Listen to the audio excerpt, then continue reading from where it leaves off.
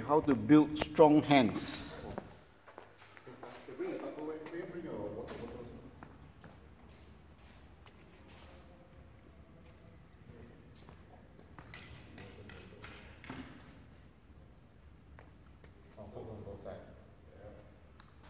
little bit of creativity, okay? A little bit of thinking helps.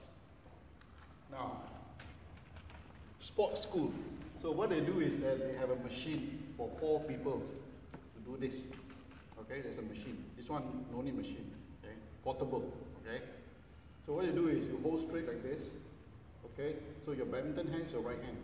So you use your right hand to do the grinding up. When you're grinding it up, it's forehand power. When you're grinding it down, it's backhand power. Okay, symmetric, balance. Huh? So what you do is you grind up all the way, up all the way. Okay, up all the way, and you grind it down all the way. Okay, okay, let's do it. See how long can last.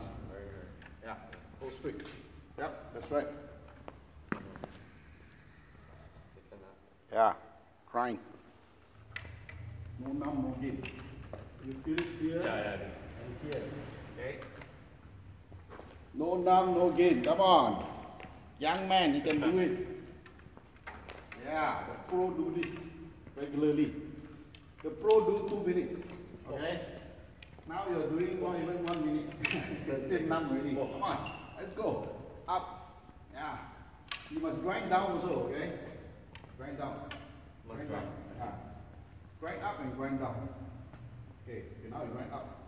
Ah. Okay? Then you don't let it down. So you must grind down. Okay, so grind down. Yeah, yeah. So your left hand is just okay? Alright? Oh. Now you know how to strengthen your hand. Huh? So, so when you're grinding up, it's your forehand strength. Grinding down is your backhand. Okay, it doesn't matter which way. Okay, as long as you grind up and down. Okay, that's how to strengthen your hand power. Next time, whenever you play backhand, easy. Shuttle will fly. That's how to strengthen your hand. Okay, just do it regularly. And this is very easy. It's just a broomstick. So just cut it off. No one feet. Okay. There's a hole. Ask your dad to drill a hole or something like that. Okay, a hole. Okay. Drill.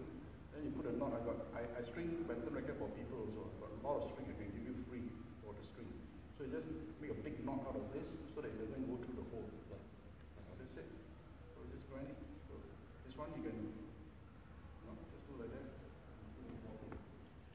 So ideally, one bottle like this, full, full water. So um, to get the maximum power. Because right now it's only half the water. That's why I need yours. Okay, to make it one full of it. Huh? Liter. Okay, half liter. Okay, so that's a trick to make your hands strong. Huh? You must do it regularly. Huh? So it doesn't take much time.